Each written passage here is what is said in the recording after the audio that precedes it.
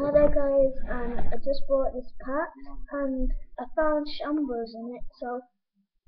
yeah, and this is ultra rare, so yeah, and so I've got it, and yeah,